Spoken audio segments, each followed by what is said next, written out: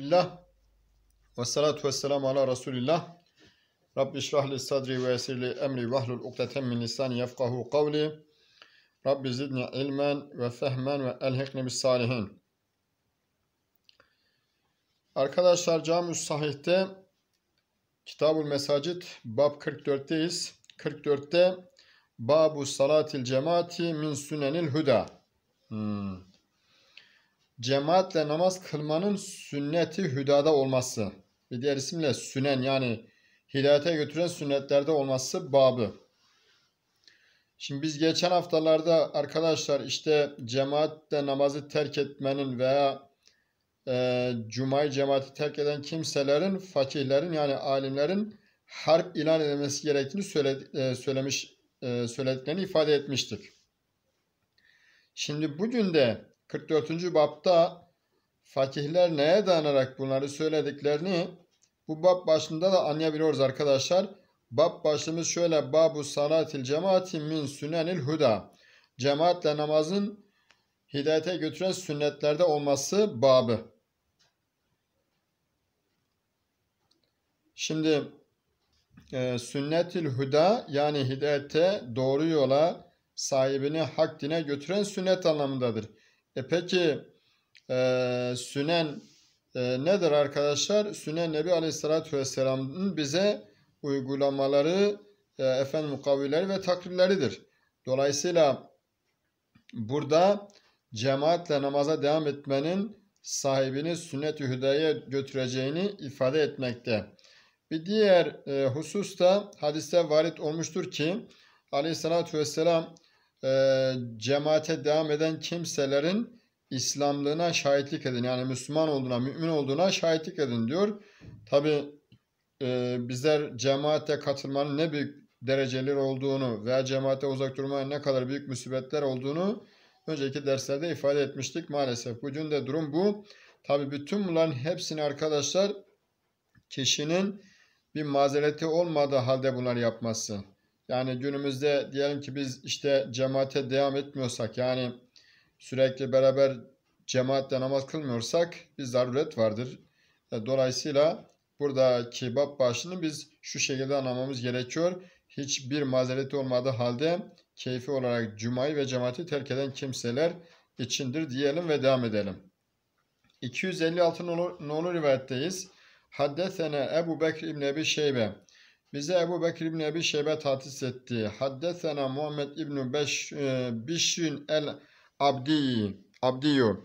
Bize Muhammed İbni Bişr el Abdi tatis etti. Haddesena Zekeriya İbni Ebi Zayde. Bize Zekeriya İbni Ebi Zayde tatis etti. Haddesena Abdülmelik İbni Umeyr. Bize Abdülmelik İbni Umeyr tatis etti. An Ebi Havsin o da Ebu Havs'ta. Kale dedi ki Kale Abdullah.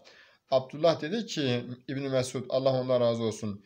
لَقَدْ رَأَيْتُنَا وَمَا تَخَلَّفُوا عَنْ صَلَاتِ إِلَّا مُنَافِقٌ قَدْ عُلِمَ نِفَاقُهُ ev maridun. Abdullah dedi ki vallahi ben münafıkı yani nifakı bilinen münafık ya da hastadan başka hiçbirinin namaza geri kalmadığının düşüncesindeyim. Yani benim görüşüm şudur ki bir adam eğer cemaate gelmiyorsa, cemaatle namaza devam etmiyorsa o adam ya münafıktır yani ya nifak sahibidir ya da o adam hastadır. Bunun dışında bir mazeret onu geri koyamaz dedi İbn Mesud. Büyük bir şey söylüyor esasında Abdullah İbn Mesud. Dedi ki vallahi benim düşüncem şudur ki yani benim reyim şudur ki namaza geri kalan kimse ya münafıktır yani ya nifak sahibidir ya da hastadır. Devamda diyor ki İbn Mesud İnkanel e, inkanel meridu le yemsi le yems, yemşi beyne raculayni hatta ye'tiye sala. Dedi ki hasta olan bile iki adam arasına girerek mutlaka namaza getirilir. Yani eğer adam hasta ise burada cemaatin önemi ne kadar büyük. Eğer adam hasta ise iki kişinin koltukları arasına e, takılır. E, iki kişi onu ne yapar? Yürüyerek namaza getirir. Devamda dedi ki Abdullah bin Mesud ve kâle dedi ki İnne Resulallah sallallahu aleyhi ve sellem allemna sünenel huda. Dedi ki hakikat şu ki Resulullah bize hidayet sünnetlerini öğretti. Yani doğruluğa götüren, yani sahibini Allah katına kurtuluşa götüren, Resulullah Aleyhisselatü Vesselam yoluna temessük ettiren sünnetleri yani uygulamaları Resulullah Aleyhisselatü Vesselam bize öğretti diyor Abdullah İbni Mesud. Abdullah İbni Mesud diyor ki Resulullah Aleyhisselatü Vesselam bize hidayete götüren sünnetleri öğretti ve inne min sunenil huda es-salate fil mescidi lezi yueddinu fi dedi ki o hidayetin sünnet e, o hidayete götüren sünnetler nelerdir? Ezan için ezan okununca mescitte namaz kılmak da hidayete götüren sünnetlerdendir dedi Abdullah İbni Mesud. Çok büyük bir şey söylüyor. Dedi ki Resulullah Aleyhisselatü Vesselam bize hidayete götüren sünnetleri öğretti. Bu hidayete götüren sünnetlerden birisi de cemaatle devam etmektir. Yani cemaatle namaz kılmaktır. İşte dedi ki İbn Mesud ezan okunan mescitte namaz kılmak da hidayete götüren sünnetlerdendir. Yani o mescitte ezan için e, namaz için nida edildiği anda oraya gidip namaz kılmak da hidayete götüren sünnetlerdendir.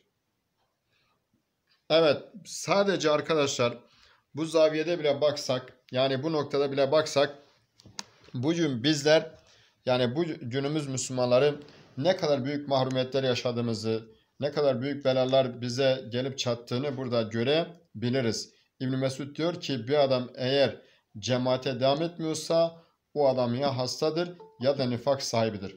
Devamda diyor ki hasta sahip hasta olan kimse için iki kişi onun koltuklarına girer onu ne yapar? Onu namaza götürür. Ya münafık olan kimse? Eğer o adam cemaate devam etmiyorsa o adam münafıktır. Yani hastalığın çare adam hastaysa bile bunun çaresi var. Ama nifak sahibi kimse ise nedir? Dediğimiz gibi önceki e, derslerde ifade ettiğimiz şekliyle nedir bu kimse? Cuma'yı cemaati, Müslüman cemaatini terk etmiştir. Müslüman cemaatini terk ettiğinden dolayı Müslüman cemaatini de terk etmek ancak ve ancak nifaktır. Nifak sahibi olan bir kimse bunu ancak yapabilir. Allah Celle ve Ala bizlere selamet versin. Geldik 257 nolu rivayete. Haddesena Ebu Bekr İbni Ebi Şeybe. Bize Ebu Bekr İbni Ebi Şeybe tahsis etti. Haddesena Fadl İbni Dükeyn. Bize Fadl İbni Dükeyn tahsis etti. An Ebi Umeys. O da Ebu Umeys'te. An An Ali İbni e, Ali İbni Akmer. O da Ali İbni Akbar'da. An Ebil Havs. O da Ebu Havs'ta. An Abdullah. O da Abdullah'ta. Kim? İbni Mesud. Kale dedi ki Abdullah men serrahu en yelqallahu gaden muslimen fel yuhafidu ala haulay salavati haythu yunadi bihinne Allahu Ekber. Abdullah İbni Mesud dedi ki her kim yarın yani kıyamet günü Müslüman olarak Allah'la buluşmak isterse ezanları duyduğu zaman namazları kılsın dedi. Her kim yarın Allah'a yani kıyamet gününde Allah'a Müslüman olarak kavuşmak istiyorsa ezanı duyduğu anda namazları kılsın. Devamda dedi ki İbn Mesud fe inna Allaha şera li nebiyyikum sunenel huda dedi ki şüphesiz Allah nebinize hidayete götürecek sünnetler kılmıştır. Bunlar hidayet yollarıdır. Yani de ki alemler olan Allah sizin nebinize hidayete götüren sünnetleri e, vaaz etmiştir. Sünnetleri koymuştur dedi. Devamda dedi ki siz de bu cemaatten uzak duran kişi gibi evinizde kılarsanız ne olmuş olursunuz dedi. Peygamberinizin sünnetini terk etmiş ve terk ettiğiniz için de dalalete düşen kimselerden olursunuz. Allahu Ekber. Dedi ki velev ennekum sallaytum fi buyutukum kema yusalli hadal e, mütehallef fi beytihi. Siz de böyle cemaate gelmeyip geride kalıp evinde namazı kılan kimseler gibi namazınızı evde kılarsanız siz ne yapmış olursunuz? Peygamberinizin sünnetini terk etmiş olursunuz. Peygamberinizin sünnetini terk ettiğinizden dolayı da ne olmuş olursunuz? Dalalete düşen kimselerden olmuş olursunuz dedi Abdullah İbni Mes'ud. Devamında dedi ki güzelce abdesti alıp da bu mescitlerde birine gelmek isteyen kişinin Allah'ın her adımında bir sevabı, sevap ihsan eder ona. Derecesini yükseltir ve her adımda bir günahını siler. Dedi Abdullah bin Mesud. Yani temizlenmenin yollarını söylüyor. Hem maddi hem manevi anlamda temizlemenin yollarını söylüyor. Ne diyor? Kişi güzel bir şekilde abdest alır ve ma min raculin yetetahharu fe yuhsinu tuhura thumme ya'midu ilal mescidi min hadil mesacid illa ketaballahu lehu bi kulli hatveti yahtuha hasene. Kişi dedi e, güzelce abdest alıp bu mescitlerden birine gitmek isterse alemler Rabbi olan Allah her adımında ne yapar? Her adımda bir sevap verir o kimseye. Derecesini yükseltir ve her adımda bir günahını siler. Devamında dedi ki Abdullah bin Mesud ve yahud ve yahuttu anhu bi seyiaten ve laqad ra'aytuna ve ma yetehallafu anha illa münafikun ma'lumu en nifak. Dedi ki Abdullah bin Mesud hani bu işte mescide giden kimsenin işte Allah ona sevabı ihsan eder, derecesini yükseltir, günahını siler dedi ya. Cemaate gelmeyen kimse yani cemaatle, e, e, cemaatle namaza devam etmeyen kimse ancak münafıklığı apaçık olan kimsedir. Yani nifakı yani münafık olduğu ifade yerinde ise böyle tam belgeli münafıktır o. Ve o kesin ve kesin münafıktır dedi Abdullah Mesud. Oysa oysa dedi İbn Mesud iki kişi safta yer alabilmek için yürüyerek aralarında ne yaparlardı? Onu aralarında yarışırlardı diyor Abdullah İbn Mesud. Evet. Bu buradaki babda yani 44. babda arkadaşlar iki hadis var. İkisini Abdullah bin Mesud aktarıyor. Ve burada cemaati terk etmenin ne kadar büyük bir bela olduğunu, cuma cemaati camiyi terk etmek ancak ve ancak münafıkların özellikleri olduğu ve bu işi yapan kimsenin ancak münafık olduğu. Şimdi hadisleri umumi anlamda alırsak arkadaşlar eğer bir yerde mescit varsa ve orada namaz için nida ediliyorsa oraya kişinin hiç e, şey demeyelim mazeret demeyelim kişi e, e, tabi mazereti olmadığı halde bu davete icabet etmezse bu kimse hadis münafıktır. Ancak nifak adamı geride bırakır. Ama hadisi bazı kayıtlarla kayıtlandırmamız gerekirse örneğin diyelim ki bir yer e, Allah'ın dinini ikame etme, yaşama adına e, kurulmuş ama burada Allah'ın dini uygulama yerine var olan düzenin, var olan işte dediğimiz gibi toplumun istekleri doğrultusunda hareket ediyorsa bu sahibi için mazeret olabilir. Ama genel anlamda cuma ve cemaati terk etmek bu hadislerde de anlaşıldığı gibi büyük bir bela olduğunu çok bariz bir şekilde görüyoruz arkadaşlar. Allah Celle ve Ala bunun farkında olup e, ve bu şekilde hareket edenlerden eylesin. Şimdi hadiste dikkatimizi çeken bir nokta da bu cemaate devam etmenin hidayete götüren yollar olduğu. Yani e, hidayete götüren sünnetler olduğu. Şimdi arkadaşlar tek başına bir insan namaz kılması tabii ki olacak şey e, olabilir mi? Olabilir. Bazı durumlarda olur. Ama bu din tek başına yaşanan, ferdi bir şekilde yaşanan bir din değildir.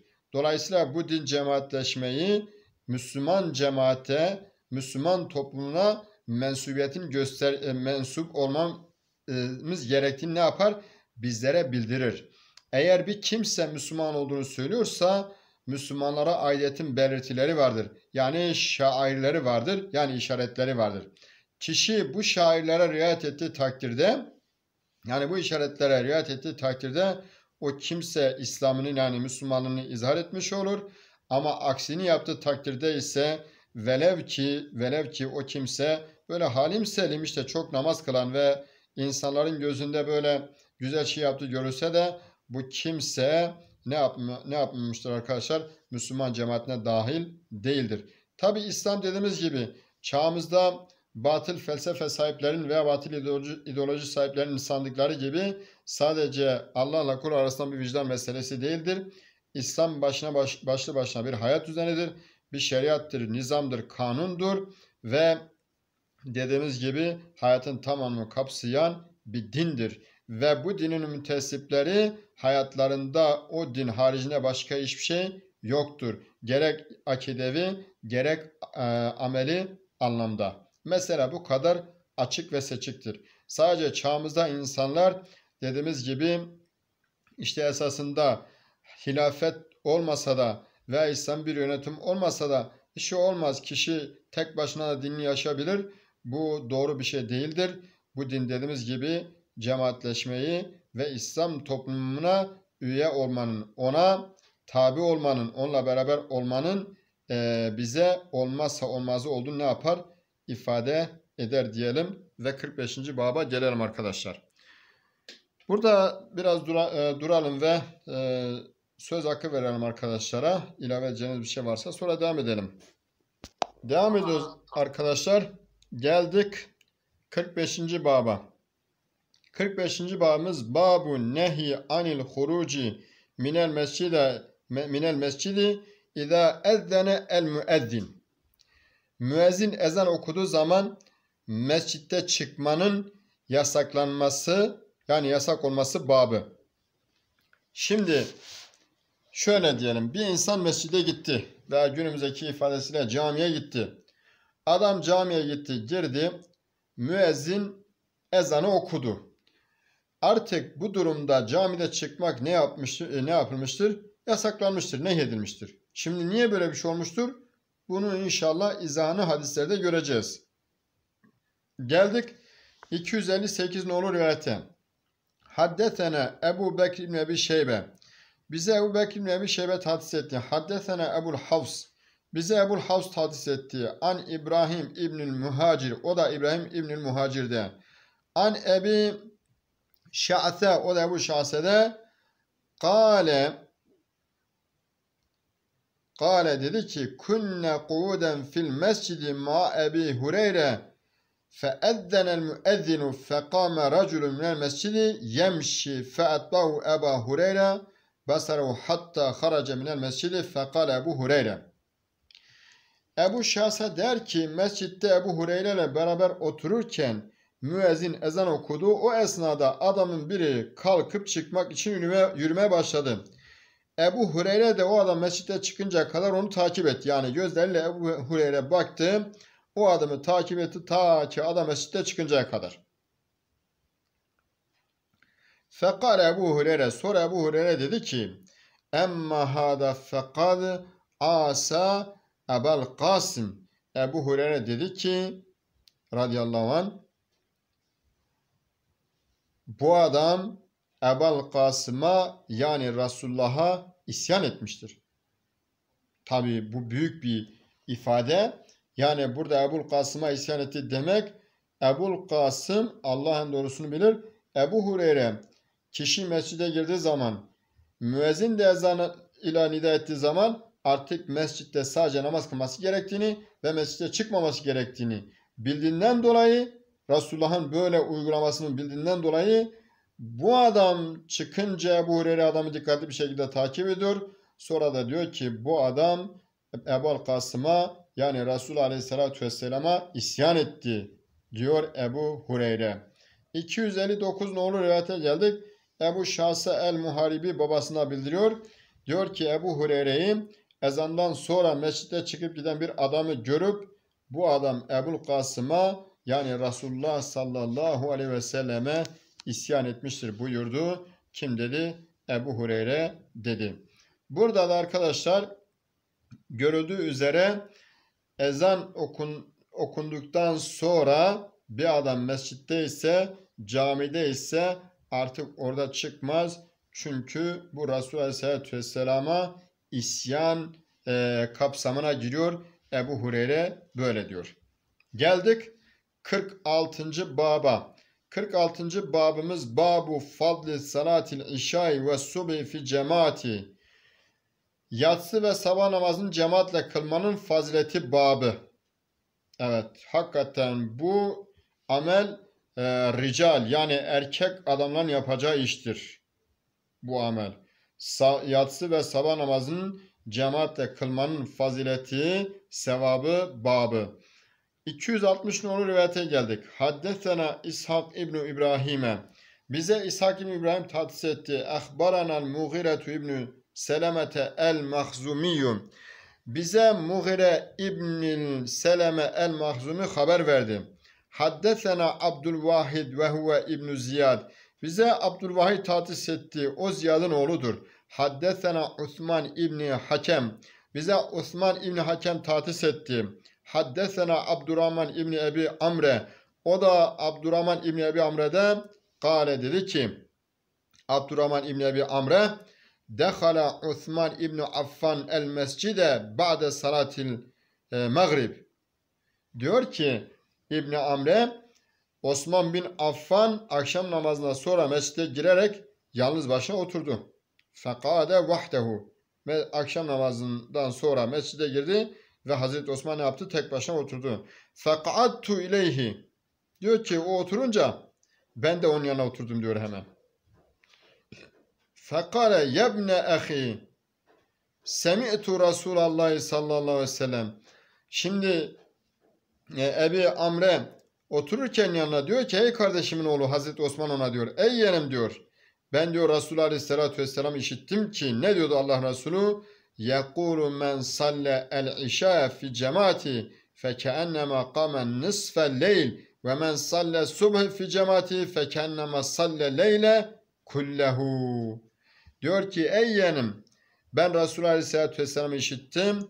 Her kim yatsıyı cemaatle kılarsa gecenin yarısını namaza geçirmiş gibi olur. Yani sanki gecenin yarısına kadar namaz kılmış gibi olur. Her kim de sabah namazını cemaatle kılarsa bütün gece namaz kılmış gibi olur derken diyor işittim kim diyor Hazreti Osman diyor.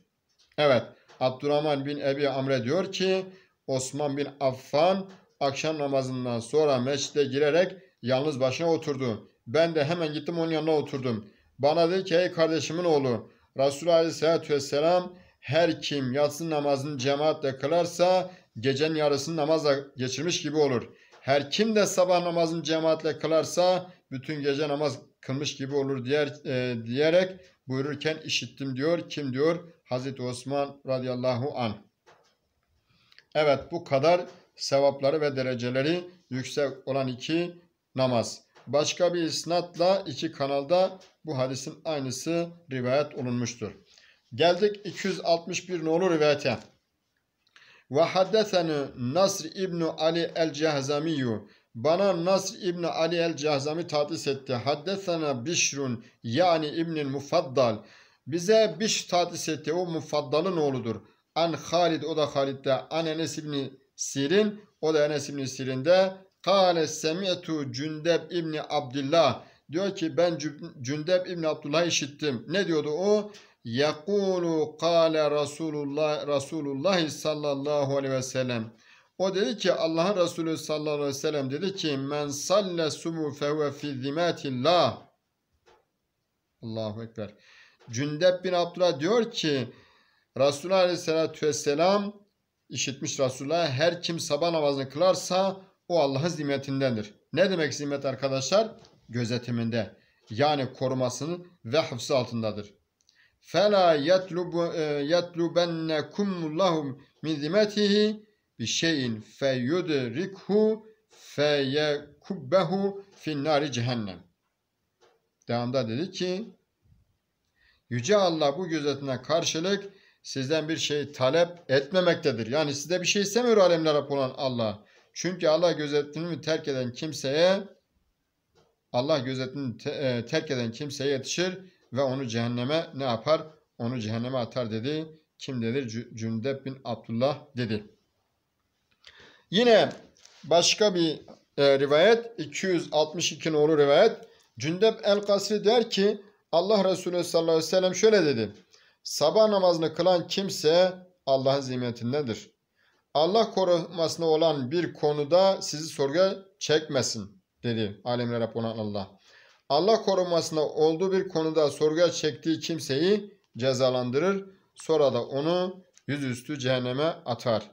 ثُمَّ يَكُبَّهُ عَلَى وَجْهِ فِي النَّارِ cehennem. Dedi. Kim dedi? Allah'ın Nebisi sallallahu aleyhi ve sellem. Başka bir isnatla arkadaşlar hadisin aynısı da gelmiştir. Şimdi geldik e, 47 nolu rivayette 47 nolu rivayet dedim aferin 47. baba önceki bablarda e, hakikaten arkadaşlar yani özellikle ilk iki babta cemaati terk etmenin ne kadar büyük bir vebal olduğunu ve mescitte çıkmanın ne kadar büyük bir cürüm olduğunu görmüş olduk. Burada da 47. babda sanki bir ruhsat söz konusu. Yani işte serbest tarzında bir durum söz konusu. Nedir? 47. babımız babu er ruhsati fit tahallufi anil cemaati bi udri. Bir özür sebebiyle cemaatte geri kalmaya ruhsat verilmesi babı. Kişinin bir özrü var. Biz yukarıda ifade etmiştik dedik ya hadisleri genel anlamda aldığımız zaman durum bu olur ama bir kayıtla kayıtlandırdığımız zaman da durum bu olur. İşte burada e, bir mazeret sebebiyle cemaate katılmayan kimseye ruhsat verilmesi babı. Kaç nolu rivayette kaldık arkadaşlar? 263 nolu rivayette. Muhammed bin Errebi el Ensari sahabeden ve Ensar'da Bedir Savaşı'na katılanlardan olan Etban bin Malik'ten bildiriyor. Meşhur. Bukhari'nin başına geçmiş hatırlayan arkadaşlar var. Resulullah gelip şöyle dedi. Ey Allah'ın Resulü. Etban gelip Resulullah Aleyhisselatü Vesselam'a diyor ki Ey Allah'ın Resulü artık benim gözlerim iyicene görmez oldu. Kavmime, kavmime de yani kendi milletime de namaz kıldırıyorum. Sanak yağmurlarında aramızdaki vadide olan sel kabilemin mescidine gidip namaz kılmama engel oluyor. Yani diyor ki ben kabileme de yani milletime namaz kılıyorum ama yağmur yağdığı zaman diyor bizim aramıza bir sel geçer diyor. Ben de onların o vadisine vadisine gitmeme ne olur engel olur. Yani gidip onların namaz kılamam diyor. Bu, bu bana engel oluyor diyor. Onların mescidine tabii ki. Ey Allah'ın Resulü bana gelip namaz kıldığım yerde namaz kılmanı ve ben de orasını namazgah yani bir diğer ismiyle mescit veya namaz kılma yeri edineyim diye istedim diyor. Resulullah Aleyhisselatü Vesselam inşallah öyle yaparım buyurdu. Etban dedi ki gün yükselince yani gün böyle ağrınca yükselince Resulullah yanında Ebu Bekir'le geldi. Allah Resulü girmek için izin isteyince izin verdim. Ancak eve girince oturmadı. Sonra evin neresine namaz kılma, e, kılmamı istersin buyurdu. Yani nereye namaz edilmek istersin dedi. Etban dedi ki ona evde bir yere gösterdiğimde Resulullah ileri geçti. Sonra tekbir aldı. Biz arkasına saf tuttuk. Bize iki rekat namaz kıldırdı. Namaz sonrası yaptığımız et çorbasında ikram etmek için onu evimizde beklettik. Oranın ahalisinde yani orada yaşayan kimselerden birçok kimse yanımıza gelip toplandılar. Yani çünkü millet duymuş ki Etban bin Malik'in misafiri Resulullah Aleyhisselatü Vesselam. Dolayısıyla ne yapıyor millet? Gidelim Allah Resulü gelmiş Allah Resulü Aleyhisselatü Vesselam'ı görmeye. Etban diyor ki biz onu işte yemek ikram edelim diye bekletirken diyor Allah'ın nebisini oranın ahalisinde birçok kimse yanımıza gelip toplandılar. İşlerinden biri şöyle dedi. Malik bin Edduhşu nerede diye sorunca bir kişi o münafıktır. Allah ve Resulünü sevmiyor cevabını verdi. Yani demek istedi ki adam bırak onu ya dedi. Malik bin Duhşun o dedi münafığın teki dedi, dedi. O Allah ve Resulünü sevmiyor dedi. Bunun üzerine Allah Resulü sallallahu aleyhi ve sellem böyle deme. Görmüyor musun veya işitmiyor musun o la ilahe illallah demiştir. Bu sözüyle Allah rızasını istemektedir buyurdu. Allahu Ekber. Ashab ey e, Allah ve Resulü daha iyi bilir dediler. Etban dedi ki biz peygamberi münafıklar hakkında hep böyle mütecevvi ve hayırhan olarak bulduk. Yani ne kadar ne zaman münafıklar böyle tan edilse yani böyle işte zem edilseler yani böyle kötü bir şekilde anılsalar Resulullah Aleyhisselatü Vesselam ne yaptı? Onlara böyle hayırlı muamelede bulundu. Onlara yöneldi, onlara teveccüh etti. Dedi ki işte siz Malik bin Duş'un için diyorsunuz ki bu Allah'ın düşmanıdır, münafıktır ama o Allah'ın rızasını gözeterek la ilahe illallah diyor ve aynı zamanda ne diyor? O diyor ki ben işte İslam üzereyim diyor. Dolayısıyla e, ne yapmayın? Onları böyle tan etmeyin diyor Allah'ın nebisi sallallahu aleyhi ve sellem. Resulullah şüphesiz ki Allah rızasını gözeterek devamda dedi ki La ilahe illallah diyen kimseye cehennemi haram kılmıştır. Subhanallah. Çok büyük bir mesele. Devamda Resulullah dedi ki fekale Resulullah sallallahu aleyhi ve sellem fe inna Allah kad harrama alan nari men kâle la ilahe illallah yenbagi bidalike vecihillah bir adam Allah'ın rızasını gözeterek la ilahe illallah dediği zaman alemler Rabbul Allah o kimseye ne yapmıştır? Allah alemler Rabbul Allah o kimseye cehennemi haram kılmıştır. Yani o kimseyi cehenneme atmaz dedi Allah'ın nebisi sallallahu aleyhi ve sellem. İbn Şahab der ki Ez-Zühri daha sonra Salim oğullarında ve onların ileri gelenlerinde olan Hüseyin bin Muhammed el-Ensari Mahmud bin Ereb'in hadisini sorduğumda bana bunu ne yaptı? Tasdik etti. Yani aynısını ne yaptı? Doğruladı. Dedi ki evet bu mesele böyledir, doğrudur dedi. Kim diyor? İbn Şihab Ez-Zühri diyor büyük imam.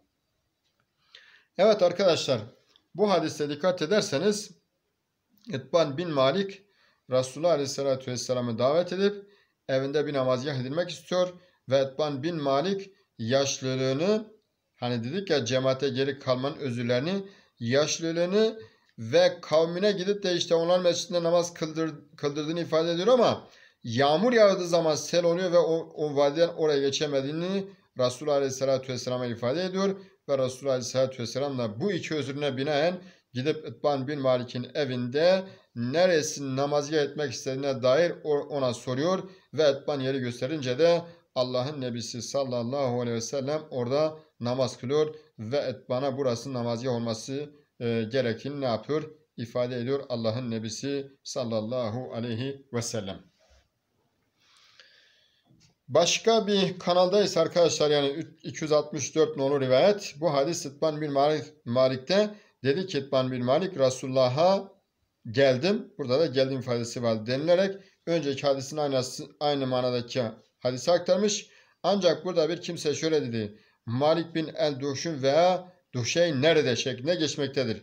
Yani oraya işte İtban bin Malik'in evine gelip de Resulullah görmek isteyen kimselerden birisi veya birileri ne dediler? Dediler ki Malik e, bin Duhşun veya Duhay, e, Duhayşin nerededir diye e, sordu. Yani böyle bir soru sordu. Hani demek ki o e, vadide sayılan birisi ve en azından insanların merak etmiş oldukları birisi işte böyle sorunca birisi hemen orada birisi atıyor ne diyor? Diyor ki ya bırak onu diyor.